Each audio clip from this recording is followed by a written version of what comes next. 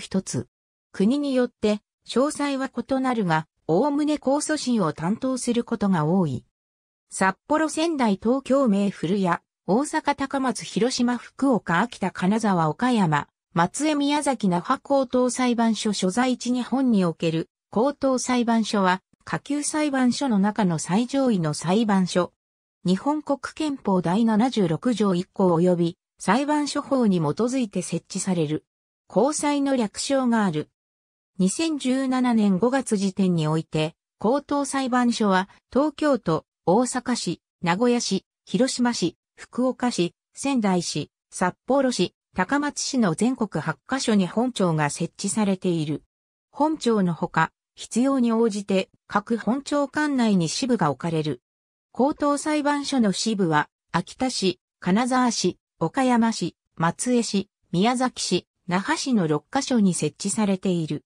また、2005年4月より、知的財産に関する係争について、専門的に取り扱うための知的財産高等裁判所が東京高等裁判所の特別の支部として設置された。高等裁判所の長たる裁判官は高等裁判所長官といい、官内の司法行政上の事務を統括している。認証官でもある。なお、高等裁判所に置かれる事務局の長である。事務局長は法律上は裁判所事務官の職であるが、実際には裁判官が当てられる慣例となっている。高等裁判所は以下の事項について裁判権を有する。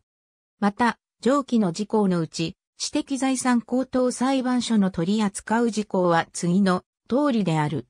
ドイツにおける高等裁判所は、ドイツの裁判所種別の一つ、上級ラント裁判所とも訳される。